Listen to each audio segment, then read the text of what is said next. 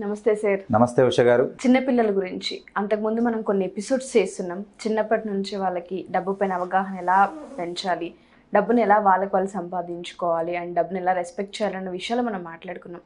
చాలా సందర్భాల్లో పేరెంట్స్ అనుకుంటూ ఉంటారు మా పిల్లల్ని కోటీశ్వరులను చేయాలనుకుంటూ ఉంటారు. బట్ ఆ కళ నెరవేరాలన్నా వాళ్ళకి ఆ లక్షణాలు రావాలన్నా డబ్బు పైన వాళ్ళు అవగాహన పెంచుకోవాలని అసలు ఏ విధంగా అంటారు? వాళ్ళకంటూ సపరేట్గా ఏమైనా క్లాసెస్ కానివ్వండి మన సైడ్ నుంచి కౌన్సిలింగ్ కానివ్వండి చిన్నప్పటి నుంచే డబ్బు పైన వాళ్ళకి ఏ విధంగా మక్కువ ఉండాలనేది మనం ఏ విధంగా చెప్పొచ్చు అంటారు? Shiva Om.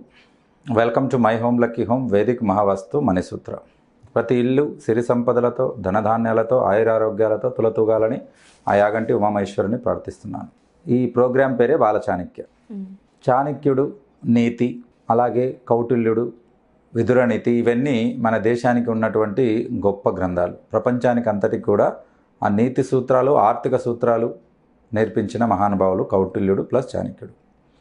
అందుకే ఈ ప్రోగ్రాంకు బాల అని పేరు పెట్టడం జరిగింది. అసలు ఎందుకు అవసరం? రీసెంట్గా నా విశాఖపట్నం మీటింగ్లో హయ్యెస్ట్ క్వాలిఫికేషన్ ఉన్న కంటెస్టెంట్ ఎవరు అని చెప్పి నేను అడిగాను. వచ్చిన నా క్లయింట్స్ మీటింగ్స్కి వచ్చిన వాళ్ళలో ఎంఏ ఎంఫిల్ డాక్టరేట్ ఇంగ్లీష్ చదివిన ఆవిడ. డిగ్రీ తర్వాత ఎంఏ అంటేనే ఇట్స్ అండ్ గ్రాడ్యుయేట్స్. ఎంఏ అంటే మాస్టరీ ఇన్ ఆర్ట్స్. దాంట్లో ఇంగ్లీష్ అన్నట్టు. కాబట్టి కాబట్టి ఎంఏ ఇంగ్లీష్ చదివి దాని తర్వాత మళ్ళీ ఎంఫిల్ వాట్ ఈజ్ ఎంఫిల్ అంటే మాస్టర్ ఇన్ ఫిలాసఫీ. మళ్ళీ దాంట్లో కూడా ఫిలాసఫీలో మాస్టర్. ఇంత చేసినా కూడా నేను ఒక్క క్వశ్చన్ అడిగాను. ఎక్కడైనా డబ్బు అంటే ఏంటి? డబ్బు యొక్క అర్థం ఏంటి? డబ్బు ఎలా సంపాదించాలి అని చెప్పారా అని అంటే లేదు సార్ అన్నారు. MPhil doctorate is the highest study in India even వరల్డ్లో కూడా. ప్రపంచంలో అన్నిటికన్నా హైయెస్ట్ స్టడీ అంటే ఏంటి? MPhil doctorate. కాబట్టి వాళ్ళకు కూడా ఈవెన్ ఏ సింగిల్ వర్డ్ కూడా డబ్బు అంటే ఏంటి? అది ఎలా సంపాదించుకోవాలి అని చెప్పలేదు. ఇంకో క్యాండిడేట్ ఉన్నారు. MCom commerce. Actual commerce leads with accounts tax మనీనే. కానీ దాంట్లో కూడా they are teaching how to manage money but they are not teaching how to earn money. డబ్బును ఎలా సంపాదించాలి? ఫస్ట్ ఆఫ్ ఆల్ డబ్బు అంటే ఏంటి? ట్యాంజిబులా ఇంటాంజిబులా అది కన్వర్టబులా నాన్ కన్వర్టబులా అసలు డబ్బు అంటే ఏంటి? వాటి క్యారెక్టర్స్ ఏంటి? ఎందుకు కొంతమంది మాత్రమే డబ్బు సంపాదించగలుగుతున్నారు? మిగతా వాళ్ళందరూ ఈ మనీ గేమ్ ఎందుకు సరిగా ఆడలేకపోతున్నారు? అన్నది ఎందుకనంటే ప్రాపర్ వాటికి మెంటరింగ్ లేదు. మెంటరింగ్ అంటే గైడెన్స్ లేదు వాటి గురించి. కాబట్టి అది ప్రాబ్లం అన్నట్టు. ఎందుకు అవసరము బాలచాణక్య అనే దానికి ఇంకొక ఉదాహరణ కూడా చెప్తాను. నా దగ్గర ఒక క్లయింట్ ఉన్నాడు. దాదాపు ముప్పై లక్షలు అప్పు చేసుకున్నాడు. ముప్పై లక్షలకు ఐదు రూపాయల వడ్డీ అంటే దాదాపుగా లక్షన్నర. ప్రతి నెల కడుతూ ఉన్నాడు. అలా పది సంవత్సరాల నుంచి కడుతూనే ఉన్నాడు. వడ్డీ క్యాలిక్యులేట్ చేస్తే కోటి యాభై లక్షలు వచ్చింది. చేసిన అప్పు ముప్పై లక్షలు. వడ్డీ చూస్తే కోటి ఇరవై లక్షలు కోటి ముప్పై లక్షల దగ్గర. ఇంకా అప్పు అలాగే ఉంది. కానీ వడ్డీ మాత్రం అప్పుకు మూడు రెట్లు కట్టాడు ఇంకా స్టిల్ అటే ఉంది. అంటే ఏంటి అర్థం? They they doesn't know how to manage money. డబ్బు మేనేజ్ చేయడం చాలా తేలిక అని అనుకున్న వాళ్ళందరూ పప్పులో కాదు డబ్బులో కాలేసినట్లే. ఎందుకనంటే మీ అభిప్రాయం తప్పు. People never know how to manage money డబ్బు గురించి మే ఒకవేళ మేనేజ్ చేయడం తెలుసుంటే ప్రతి ఒక్కరి అకౌంట్లో కోటి రూపాయలు ఉండేవి. కాబట్టి పుట్టిన ప్రతి పిల్లలను కోటీశ్వర్లు కావాలనుకున్న వాళ్ళు ఈ బాలచాణిక్య క్లాస్లో పిల్లలకు ట్రైనింగ్ తీసుకోవచ్చు. అదేలా పాసిబిలిటీ సార్ ప్రతి ఒక్కరికి కోటి రూపాయలు వస్తాయని అంటే ప్రతి ఒక్కరికి కోటి రూపాయలు వస్తాయి. ఒకప్పుడు కోటి అనగానే అంత అల్లంత దూరాన అని చెప్పి చూపించేవాళ్ళం. ఇప్పుడు కోటి మనకు పదిహేను నుంచి పద్దెనిమిది సంవత్సరాల దూరంలోనే ఉంది. అందుకే పిల్లలు పుట్టిన వెంటనే వాళ్ళకు ఒక particular curriculum particular plan particular investment మనం ఇచ్చి పెట్టాక టెన్ ఇయర్స్ వరకు మన పాత్ర ఉంటుంది. టెన్ ఇయర్స్ తర్వాత వాళ్ళ పాత్ర మొదలవుతుంది. ఓకే. ఏ విధంగా సార్ అసలు? ఎందుకనంటే సి పిల్లలు మనల్ని చూసి నేర్చుకుంటారు. నడక మనల్ని చూసి నేర్చుకుంటారు. మాట మనల్ని చూసి నేర్చుకుంటారు. తీరు కూడా మనల్ని చూసి నేర్చుకుంటారు. మనం కూడా ఇంట్లో వస్తువు పెట్టుకొని ఎవరికైనా లేదు అబద్ధం చెప్పంగానే వాడికి ఏమైనా అర్థమవుతుంది? ఓహో మనం అబద్ధం చెప్పాలి. ఎవరైనా వచ్చి ఈ వస్తువు లేదు అని చెప్పి చెప్పాలి. అవి కూడా నేర్చుకుంటారు. కోపము ఆవేశము కసి ఇవన్నీ కూడా మనల్ని చూసే నేర్చుకుంటారు. అలాగే డబ్బు దుబారా చేయడం డబ్బు ఖర్చు పెట్టడం డబ్బు మేనేజ్మెంట్ మీ దగ్గర లేకపోవడం కూడా అవే నేర్చుకుంటారు. కాబట్టి ఆ లింక్ని కట్ చేసేసామనుకోండి వాళ్ళ ప్యాత్ వేరే అవుతుంది. కాబట్టి చదువుకున్న వాడికి చదువు లేని వాడికి తేడా ఎలా ఉంటుందో అలాగే బాలచాణిక్య ట్రైనింగ్ తీసుకున్న వాళ్ళకి డబ్బు మేనేజ్మెంట్ తీసుకొని వాళ్ళకి అలాగే ఉంటుంది.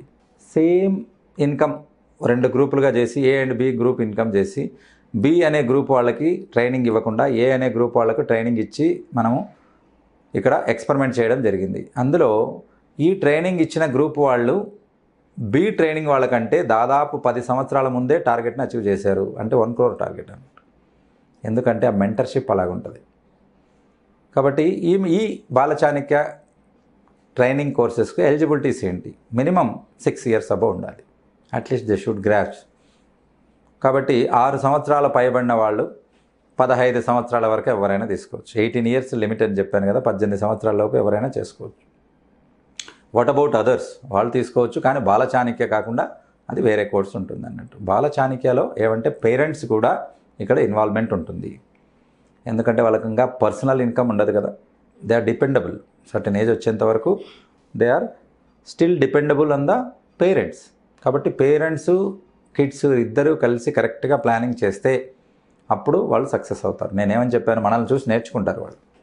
కాబట్టి నేను నేర్పించే కొన్ని టెక్నిక్స్ మీరు చేసి వాళ్ళకు త్రూ నేర్పించాలి.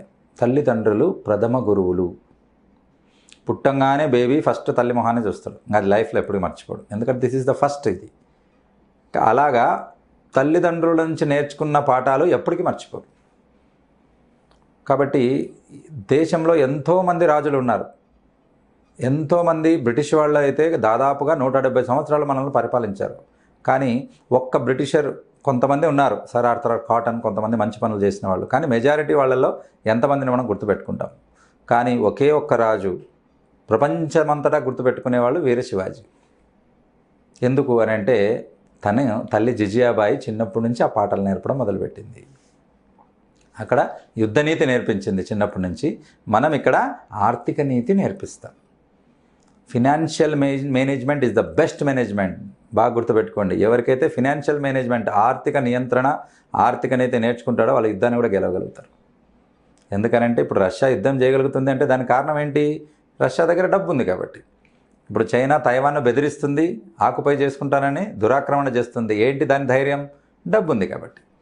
అమెరికా అందరికీ పెద్దన్నయ్యలా వ్యవహరిస్తుంది ప్రపంచంలో. దేనికి? తన దగ్గర డబ్బు హోదా ప్లస్ ఆయుధ సామాగ్రి ఉంది కాబట్టి. అంటే యుద్ధ తంత్రం దేంతో లింకప్ అయి ఉంది అగైన్ మనీ. కాబట్టి అందరికన్నా ఎవరు డబ్బు సంపాదిస్తారో వాళ్ళ మాటే వింటుంది ప్రపంచం. కాబట్టి పిల్లలకి చిన్నప్పటి నుంచే ఈ ఆర్థిక విద్య అనేది మస్ట్ అండ్ షుడ్ నన్ను అడిగితే కరికులం పెట్టాలి ఎడ్యుకేషన్ సిస్టంలో కానీ పెట్టరు.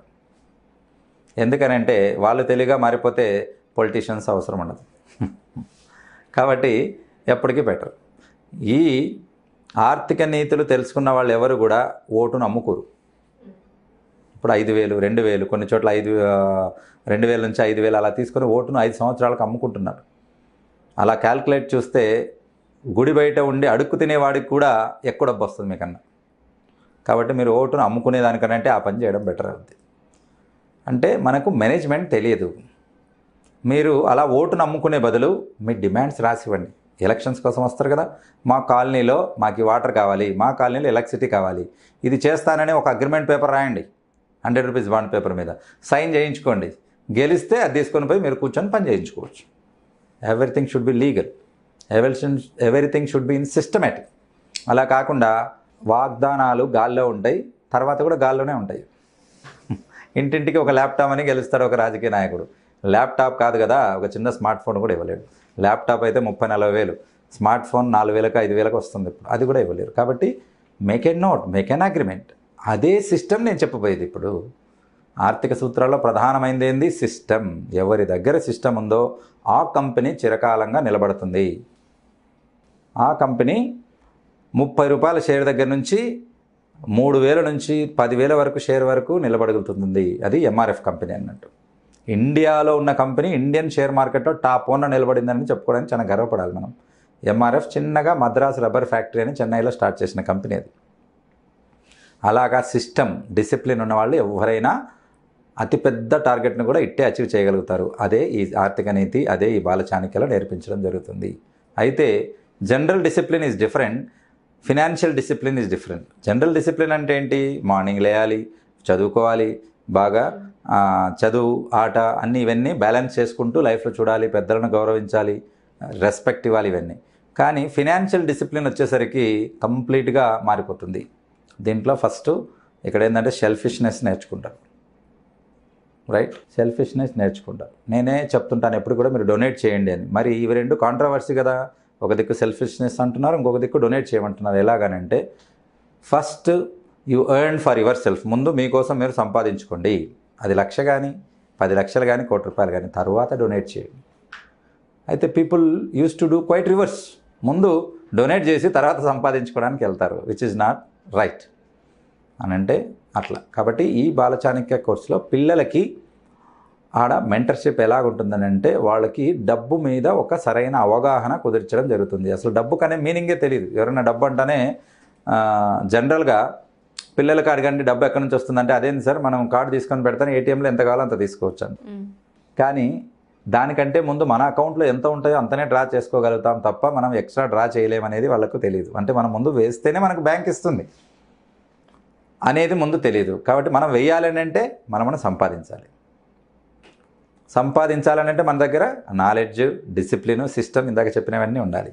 కాబట్టి ఆ రకంగా సంపాదన అందరూ చేస్తున్నారు. సంపద మాత్రం కొంతమంది కూడబెడుతున్నారు. కారణం కూడా ఈ డిసిప్లిన్ ఫినాన్షియల్ డిసిప్లిన్ లేకపోవడమే. సార్ అయితే దీనికి సంబంధించి చాలామంది క్లాసెస్ అడుగుతూ ఉంటారు. ఎస్పెషల్లీ ఫినాన్షియల్ డిసిప్లిన్ అనేది చాలా తక్కువ చూస్తూ ఉంటాం. అండ్ అది ఏ విధంగా గైడ్ చేయాలి? ఏ విధంగా చెప్పాలి? చిన్నప్పటి నుంచే మనీతో మనీని పుట్టించుకోవడం ఎలా అన్న కాన్సెప్ట్ చాలామందికి తెలియదు సో మీ సైడ్ నుంచి క్లాసెస్ కానివ్వండి వాళ్ళకి ఎస్పెషల్లీ దీనిపైన ఏమైనా తీసుకునే అవకాశం ఉంటుందా sir Shivom here we are to help you all ఇక్కడ బాలచానిక ట్రైనింగ్ క్లాసెస్ అన్నది కండక్ట్ చేయడం జరుగుతుంది. బ్యాచెస్ వైజ్గా ఉంటుంది. ఒక్కొక్క బ్యాచ్కు ట్వంటీ మెంబర్స్ మాత్రమే తీసుకుంటాం. ఆ బ్యాచ్లో పర్సనల్ అప్రోచ్ ఉంటుంది. వాళ్ళ యొక్క సైకలాజికల్ కండిషన్ ఎలా ఉంది? వాళ్ళు ఏ గ్రేడ్లో ఉన్నారు? ఎటువంటి రిసీవింగ్ స్టేజ్లో uh, ఉన్నారు? అన్నది చూసుకుని దాన్ని బట్టి వాళ్ళకు ఫీడింగ్ ఇవ్వడం జరుగుతుంది. ఈ ఫీడింగ్ సబ్ కాన్షియస్ మైండ్కి వెళ్ళేలా చేయడం జరుగుతుంది. కాబట్టి ఇంకా లైఫ్లో మర్చిపోకూడదు. For example driving. వన్స్ మీరు డ్రైవింగ్ నేర్చుకుంటే ఎప్పటికీ మర్చిపోరు. నిద్రలో కలలైనా డ్రైవింగ్ పర్ఫెక్ట్గా చేస్తారు.